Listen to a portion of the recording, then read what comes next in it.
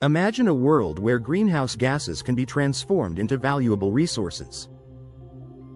Researchers in Australia have pioneered a groundbreaking method to convert methane, a harmful greenhouse gas, into ethylene, a crucial ingredient in plastics and textiles, using the power of the sun.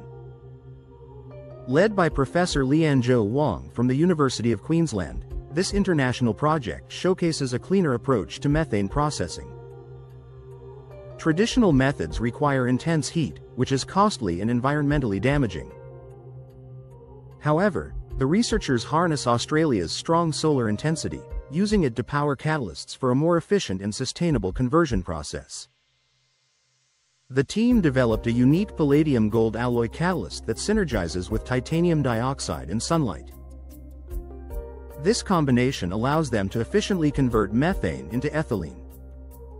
Unlike conventional methods that produce carbon dioxide, this innovative catalyst shifts the reaction to favor ethylene formation. Think of it as blending two catalysts into a perfect mix, amplifying each metal's strengths. This breakthrough not only turns a pollution problem into a valuable opportunity but also addresses methane emissions from agriculture and coal mining, a serious concern in Australia. By utilizing solar energy, they can generate sustainable products while mitigating emissions. Looking ahead, the technology has the potential to be implemented near methane sources or integrated into livestock facilities. For industrial use, a photocatalyst bed could be installed on rooftops where methane is emitted. Currently, the catalyst uses costly metals like gold, but the team is pursuing affordable options, such as iron, to ensure broader adoption. The ultimate goal is to make this revolutionary process both efficient and economically viable.